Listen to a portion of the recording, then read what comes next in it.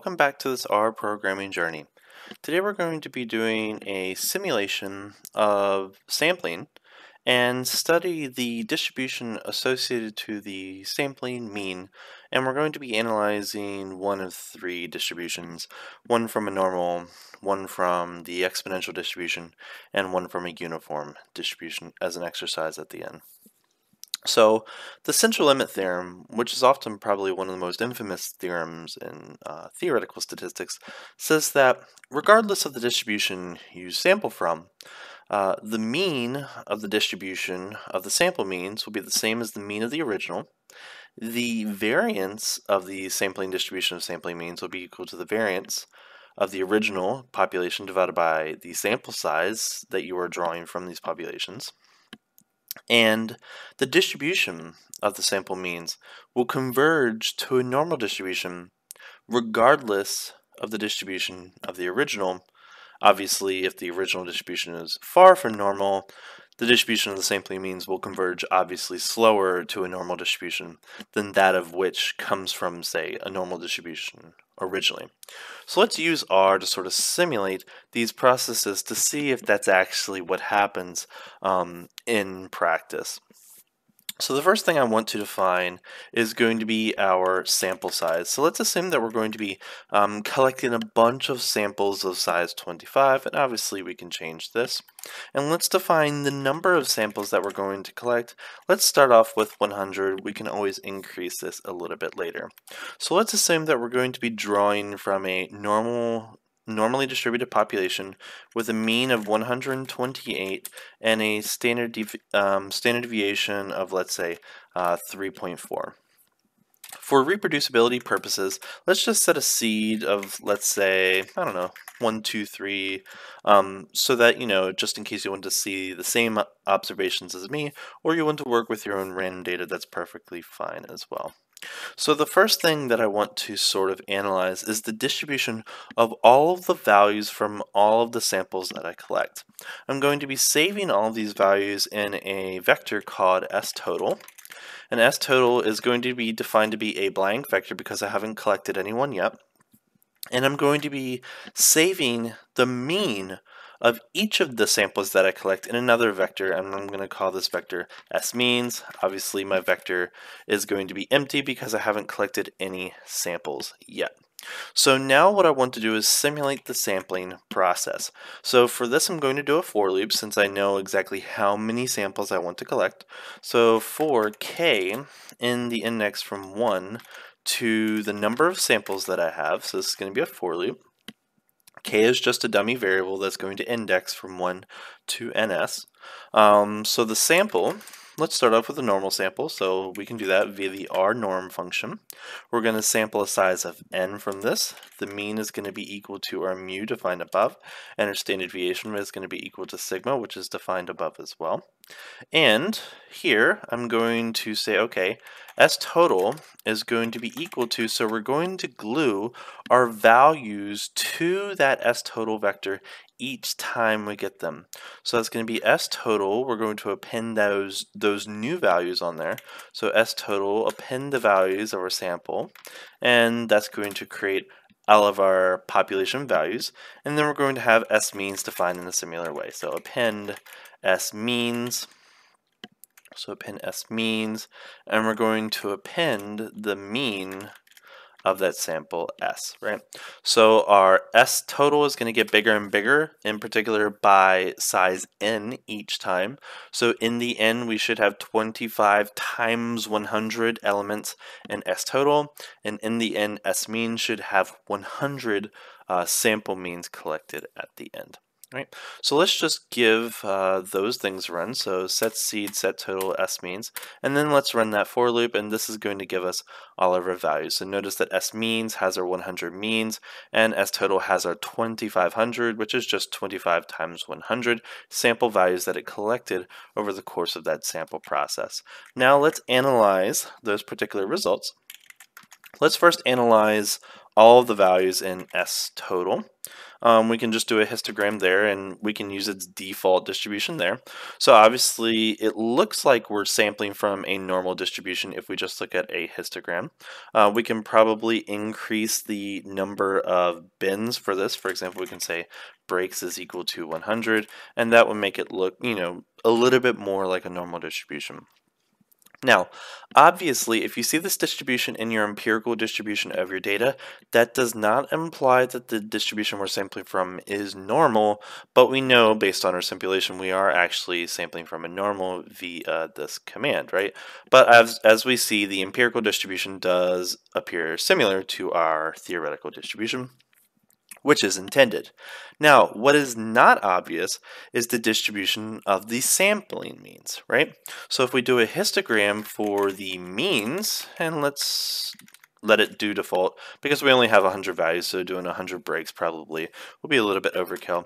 So if we sample that notice that we do have sort of a semi-symmetric distribution right so for example if we do a couple more breaks like breaks is equal to 20 maybe is appropriate it sort of looks like a normal distribution but it's definitely not obvious um, from the data values that we have here. So in order to make this a little bit more obvious, what I want to do is I want to increase the number of samples that we have from 100 to let's go to 10,000. I'm going to use the same exact definitions as we did before. I'm going to rerun that for loop. Um, every time you see this little stop sign in the top corner, that just means it's running an arm. Sometimes it takes a small time, sometimes a long time, but notice that the stop sign is gone and it's definitely completed. So if we run our histogram for our sample things, notice that it's getting closer and closer to the distribution that it's coming from, which is anticipated. And if we look at the histogram for our means, notice that it is getting closer to a normal distribution too right? So if we increase the number of bins, notice that that gives us our histogram for means, and that gives us our histogram of our sampling data. Now, question, if you look at this distribution here and this distribution here, they appear to be similar in terms of the means. It looks like it's about 128, which is the mean that we define for our sampling distribution here. But if you analyze a little bit more closely, Notice that this distribution goes down to about 120, and this other value goes down to about 126. So the standard deviations appear to be different. And the central limit theorem and properties of uh, random variable theory um, do allow us to figure out exactly what those are. So what I want to do now is I want to create a little summary table of the empirical mean and theoretical mean for the histogram of the sampling distribution of sample means and also analyze the variance as well to sort of see if those appear to be similar. So what I want to do is I want to create, for example, the column names. So the column names are going to be equal to, let's do empirical first. So empirical, and let's do theoretical in the second column. And then the row names are going to be equal to so row names is going to be equal to, let's do the means first, and let's do the standard deviation second. Right? You can obviously change those names as you see uh, appropriate. So the value of those means is going to be equal to what? So the empirical mean is going to be equal to the mean of the sample means, and the theoretical mean should be equal to the mean of the original distribution, which should be equal to mu in our case. So we can sort of compare those to see if they are close. And then the value of our standard deviation is going to be equal to, so we can do standard deviation of the sample means, and the standard deviation of the theoretical distribution is going to be equal to the standard deviation of the original distribution, which is sigma, divided by the square root of the sample size that we are collecting. So that gives us that. Now what we can do is we can start to construct our table. So let's call it a summary table, so S table. And we're going to row bind the, the, the value of the means and the value of our standard deviations. And let's give those columns and rows appropriate names as well. So the column names of S table will be equal to C names, the vector we define above, and the row names of S table are going to be defined to be equal to the R names as defined in the vector above. And then once we have all that defined, now we can reproduce our table, and that gives us this. So notice the mean of the empirical distribution is 128.00996 and the theoretical should be 128 so we definitely see that those are equal to each other and one could increase the sample size um, and the number of samples we do and those things should getting closer and closer to each other and notice the standard deviations do appear to be getting closer and closer to each other although there is more of a difference here than that in for example the mean but it's 0.67 and 0.68 here. Obviously, if we increase the sample size up to 50 and then rerun all of those things, obviously we have to wait for our little stop sign again. What do we anticipate things to look like? Well, obviously the distribution of our empirical distribution should be looking closer like the normal distribution. So that's our new distribution. We probably can increase the number of bins since we have definitely quite a few number of points here. And S means I'm going to keep, actually I'm going to increase it up to say 500. And obviously it is getting closer and closer to a normal, but technically speaking, it's still empirical, so it might not look exactly like it. Again, I'm going to construct my little summary table and do notice that now we're again at 0.47, 0.48, and 128. Now we're at like three decimal point accuracy, which is anticipated. So we definitely do see, now notice that this is not the central limit theorem, right? Because we already know if we sample from a normally distributed population, the sample mean will be exactly normally distributed. That's not surprising. But the next exercise, what we're going to do is we're going to change this distribution from a normal to an exponential and see if it does give us the same results or not. Now that we've demonstrated that the sampling distribution of sampling means from a normal distribution definitely appears to be normal, let's see what the distribution of sampling means looks like when the distribution is not normal. For example, what if we sample from an exponential distribution instead? So obviously for an exponential distribution we do not need mu or sigma, so the parameter that we're typically given is the rate parameter lambda, and let's assume that the rate parameter lambda for our exponential distribution is 7.12. Therefore, the mean is going to be the reciprocal of lambda, so 1 divided by 7.12 will be the expected value of that random variable, and the variance of that random variable will be 1 over lambda squared, and the standard deviation would just be 1 over lambda. So the standard deviation and the mean will be equal to each other for the exponential distribution case. So what I'm going to do is I'm going to start off with a sample size of 25. Again, we can obviously increase that. The number of samples 100, our lambda to be 7.12. Let's define our seed for reducibility, create our blank vectors S total and S means. And then for here, we're just going to change this function from an R norm to an R exp. We're going to be sampling uh, sizes of M and our rate parameter is going to be equal to lambda. Our S total and our S means vector are not going to change, so we're just going to give this for loop a run, which is quite short because we're only doing this 100 times. And then let's do our histogram. Uh, let's do 100 and let's do 50 for our initial breaks.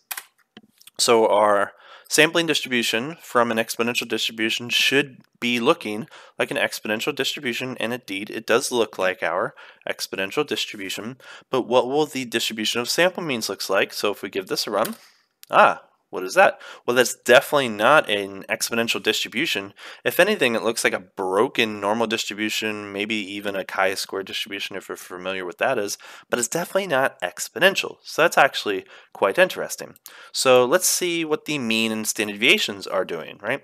Because we know what those should be regardless of what the central limit theorem says. So the mean is going to be equal to 1 over lambda. So 1 over lambda for the mean. And the 1 over lambda is going to be our standard deviation, so 1 over lambda there, and that's going to be divided by the square root of n. That's the theoretical standard deviation for that. So let's give that a run. Let's create our table and then display. So notice here that our mean and our standard deviation are converging to what it appears to be what they should be getting close to. And obviously, these formulas, 1 over lambda and 1 over lambda divided by the square root of n, those are just coming from uh, the properties of random variables, in particular expected value and variance of, you know, linear combinations of variables. But the distribution of the sampling means is quite interesting. So obviously it doesn't look like anything we know. So what do we do? Well, obviously we're going to be increasing our sample size and increasing the number of samples that we do. Let's keep the lambda value the same, the set seed the same, and rerun that for loop. And actually that does it quite quickly. Again, the distribution should be getting closer and closer to our theoretical distribution, which it is. We can probably increase that up to 200 and it's going to be more accurate. And for our breaks, if we do, let's go up to 100, now we get this type of distribution. And for the um, summary table, we get the same exact results as before, so that's not shocking at all. But notice that it's getting closer and closer to some, what it looks like to be normal distribution. So obviously we can increase the sample size up to 100 and increase this up to, for example, 10,000 times, rerun everything, wait for 5,000 hours for that to run, and once that is done running, then we can start analyzing our empirical distribution for our data. So once we give that a run, it definitely does create a very beautiful um, exponential distribution. And if we look at the histograms of our means, now this distribution is starting to look like something that is familiar. Now it's getting close to, take a guess, a normal distribution. So if we increase the number of breaks, obviously it's going to have a little bit of more rigidness, but one can show that as you increase the sample size and the number of samples, this distribution will converge in probability to a normal distribution with the mean being the same as the mean of the original distribution and the standard deviation of that normal being the standard deviation of the original divided by the square root of the sample size. Obviously, we have shown that the central limit theorem actually does work. Now, keep note, if you want to use the normal distribution to approximate the mean of samples drawn from that distribution, that distribution will not be exactly normal, only approximately normal. If you look at this particular distribution, keep in mind the exponential distribution is a skewed right distribution, in particular a heavily skewed right distribution, and it's bounded below by zero, not negative infinity. But if you look at our normal distribution, even for smaller samples, it still looks about symmetric, but it is still skewed to the right right? So please keep that in mind. This is just an approximation, not an exact, at least from the empirical perspective. So as an exercise, I just recommend trying this um, on a uniformly distributed data set, which obviously you just need to define your lower bound and upper bound and just change this from REXP to RUNIF and sort of see if you get the same exact results. Obviously, the uniform distribution doesn't have any curvature at all. It's just a flat distribution, but you should see that the distribution of the sampling means will still get close to a normal distribution, it just is a little bit more slower than that of a normal or an exponential distribution. So that is just a quick simulation, how to do simulations in R, in particularly focused on the central limit theorem. I hope you enjoyed, and I'll see you in the next video. Take care.